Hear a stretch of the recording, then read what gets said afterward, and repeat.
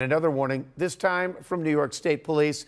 They've seen a growing number of phone scams robbing Western New Yorkers of more than a million dollars last year alone. Daybreak's Heather Lee has more on how scammers are making off with your money. Good morning, Heather. Hi there, Melissa and Pete. Good morning. The phone scams often target seniors, but the victims really here have been of all ages. In one recent case, a woman from Clarence mailed $30,000 in cash to a scammer.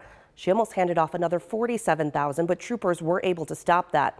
The scammers often claim to be from your bank, police, or a government agency, and sometimes they're requesting tens of thousands of dollars at a time, oftentimes in cash, cryptocurrency, even gift cards, sometimes all of the above.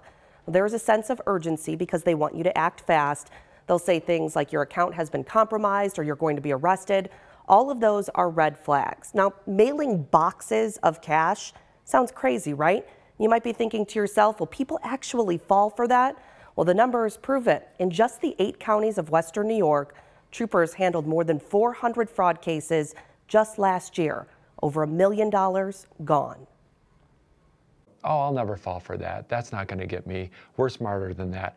But all of our victims in all of our cases said the exact same thing. And so far this year in 2022, we're looking at over half a million, and that's only a few cases.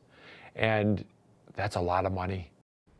Again, that's just state police. That is just the eight counties of Western New York. In another recent local case that they've handled, a woman lost $111,000, and that's just what she reported to state police. They think there may have been more.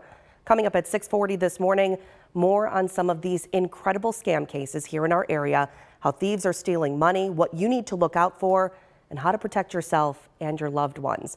Again, Pete Melissa, it sounds crazy, but it is happening. So